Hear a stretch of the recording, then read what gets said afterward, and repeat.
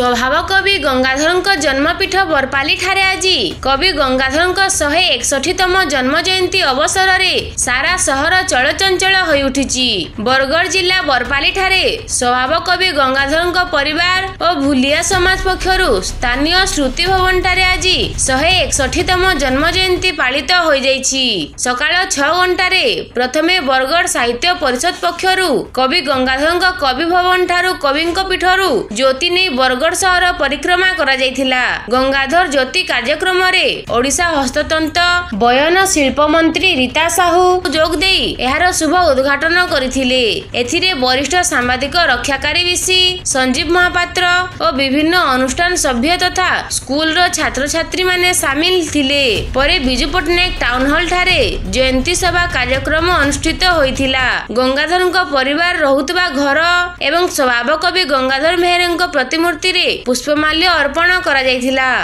report BTV Odia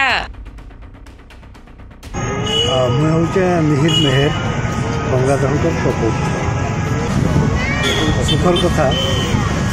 आज गंगाधर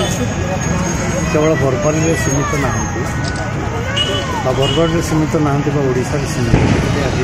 सारा भारत में ସେ ଆପଣ ଆଜିର ଦିନରେ ଶ୍ରାବଣ ପୂର୍ଣ୍ଣମୀ ଦିନରେ ସେ ଜନ୍ମଗ୍ରହଣ କରିଥିଲେ ସେ ଆସିଥିଲେ ପୂର୍ଣ୍ଣମୀରେ ଏବଂ ଚାଲିଗଲେ ଅମାବାସ୍ୟାର ଅମାବାସ୍ୟା ତେଣୁ ତାଙ୍କର ଜୀବନ ଯାତ୍ରା ଯେଭଳି ଦର୍ଶନରେ ଭରି ରହିଛି ସେଭଳି ତାଙ୍କର କାବ୍ୟ କବିତା ସେ କେବଳ ପ୍ରକୃତି କବି ନଥିଲେ ସେ ଥିଲେ ଦାର୍ଶନିକ ମଧ୍ୟ ତାଙ୍କର ରଚନା ଆଜି କାଳଜୟୀ ରହିଛି ବିଶେଷ କରି ତପସ୍ୱିନୀ ତପସ୍ୱିନୀ ଓ ଆଜି ବିଶ୍ୱର ଏକ ପ୍ରସିଦ୍ଧ କାବ୍ୟ ଯାହା କେବଳ ଭାରତରେ ନୁହେଁ ସାରା ପୃଥିବୀରେ ଚହଳ ସୃଷ୍ଟି କରିଛି ତାର କାରଣ ସମୟ ଥିଲା ଯେତେବେଳେ ରବୀନ୍ଦ୍ରନାଥ ଟାଗୋର গীতাঞ্জলি রচনা করে নোবেল পুরস্কার পাইলে